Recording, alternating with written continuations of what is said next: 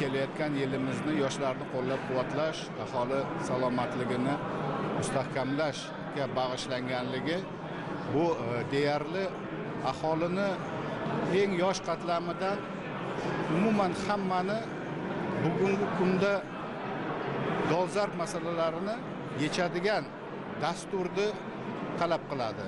Negaki birinchidan ta'lim tizimini oladigan bo'lsak mana vazifalar qo'yildiki boshlang'ich ta'limdan toki ilm qilish darajasigacha. Boshlang'ich ta'limni qamrovini oshirish maktabda ta'lim sifatini oshirish o'qituvchilarni yana e, e'tiborni kuchaytirish oliy ta'limda oladigan bo'lsak yoshlarni oliy ta'lim bilan qamrovini kengaytirish va sifatni ta'minlashni davom ettirish vazifalari qo'yildi.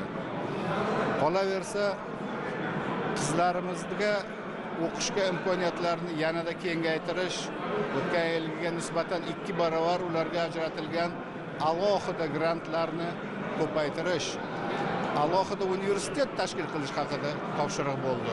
Bu universitet ham maqsadi bugungi kundagi eng iqtidorli yoshlarimizni xorijga emas o'zimizda ta'lim bilan qamrash. Xorijga borib o'qimasdan shu yerda ham dunyoning eng nufuzli universitetlari darajasidagi oliy ta'lim muassasalarida o'qishni davom ettirish va ilm fanni rivojlantirishga alohida e'tibor berildi.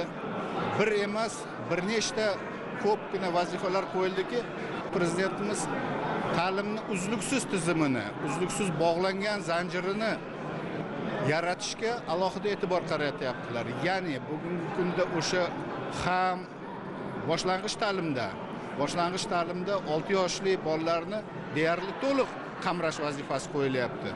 Bu bolalar ta'limga kelgandan keyin endi bu butunlay boshqacha avlod bo'ladi. Bularda o'zlarida boshqacha talab bo'ladi. Unga yarasha biz hozirdan pedagoglar tayyorlashimiz kerak. Bunga ham alohida vazifa qo'yildiki pedagoglarni tayyorlash qanaqa bo'lishi kerak? O'qitish metodikasi qanaqa bo'lishi kerak? Kitob qanaqa bo'lishi kerak?